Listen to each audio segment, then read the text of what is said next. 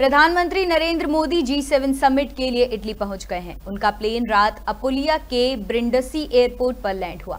यहाँ वे इटली के प्रधानमंत्री जॉर्जिया मेलोनी, अमेरिकी राष्ट्रपति जो बाइडेन और यूक्रेनी राष्ट्रपति जेलेंस्की समेत कई वर्ल्ड लीडर से मुलाकात करेंगे। तीसरी बार भारत का प्रधानमंत्री बनने के बाद ये नरेंद्र मोदी का पहला विदेशी दौरा है। मोदी ने एक पोस्ट में लिखा है कि जी सेवन समिट में हिस्सा लेने के लिए इटली पहुँच गया हूँ। विश्व नेताओं के साथ सार्थक चर्चा में शामिल होने के लिए उत्सुक हूँ। साथ ही मिलकर हमारा लक्ष्य वैश्विक चुनौतियों का समाधान करना और उज्जवल भविष्य के लिए अंतर्राष्ट्रीय सहयोग को बढ़ावा देना है। उन्होंने समिट के लिए रवाना होने से पहले कहा था कि उन्हें इस बात की खुशी है कि वो पहले विदेशी दौरे पर इटली जा रहे हैं। जी सेवन देशों की बैठक में पहली बार कैथोलिक चर्च के प्रमुख पोप फ्रांसिस भी शामिल होने वाले हैं।